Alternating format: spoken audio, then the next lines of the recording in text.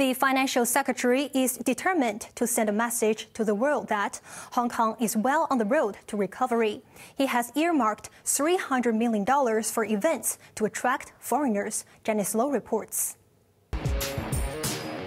Hello from Hong Kong.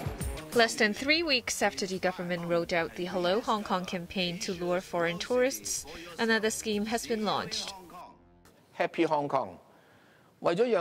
This time, the promotion is aimed at locals. It aims to boost local spending through a gourmet marketplace in various districts in the coming months, and a large scale sea land carnival in Victoria Harbour this summer. Paul Chan noted that it is crucial for Hong Kong to recover from the aftermath of COVID. The government is setting aside $300 million for major events aimed at attracting foreign visitors. These include international meetings and tourism related activities. The Tourism Board is also pitching in and will splash out $250 million on large scale activities. These include high profile events that bring economic benefits, such as the Rugby Sevens.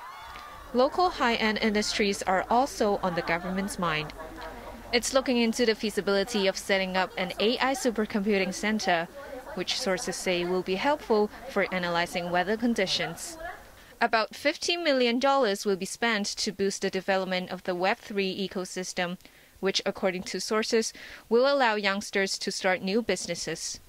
The financial chief said universities and research institutes will get $6 billion to set up life and health technology research centers. Janice Low, HKIBC.